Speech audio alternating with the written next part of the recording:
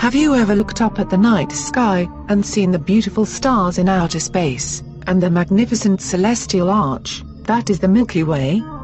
Chances are, if you live in a big metropolitan city, smog pollution and light pollution have prevented you from being able to behold one of nature's most captivating sights. It's breathtaking. It's spellbinding. It's enchanting, it's entrancing. You can't take your eyes off of me. And if you look closely, you can see the form of a woman, the sky goddess, the star goddess, the celestial goddess, known to the ancient Egyptians as Nut. I am alluring. Worship me. I am enticing. Study me. I am attractive, tempting, and inviting. Come to me. Ascend to heaven. Come to me.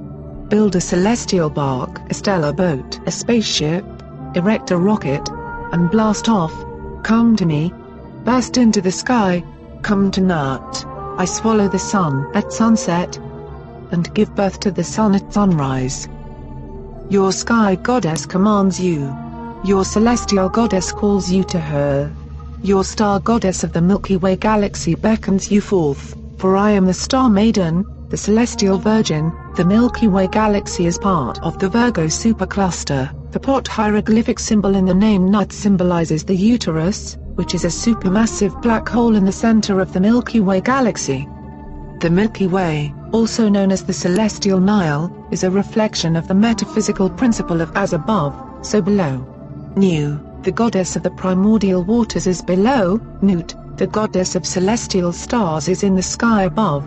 Travel down the Nile, travel through the stars, explore my body, my great body forms the constellations of the sky, I am the prophetess of astrological fortune-telling, I am the muse for the aligning, building and construction of pyramids and temples, I am the one who guides the navigators of ships, my north star is the liberator of slaves, my fingers and toes touch the four cardinal directions, hear the words of the star goddess, the dust of whose feet are the hosts of heaven, she whose body encircles the universe. I am the beauty of the heavens, the wonderment of the stars, the mystery of the waters, and the desire of human hearts. Call unto your soul, arise and come to me. For I am the soul of nature that gives life to the universe. From me all things proceed, and unto me all things must return. Before my face, beloved of all, let your divine innermost self be enfolded in the rapture of the infinite. Let my worship be in the heart that rejoices for behold, all acts of love and pleasure are my rituals, and therefore let there be beauty and strength, power and compassion, honor and pride, mirth and reverence within you.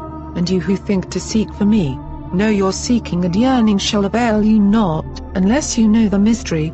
All that you seek outside of you, can also be found within you, for behold, I have been with you from the beginning, and I am that which is attained at the end of desire.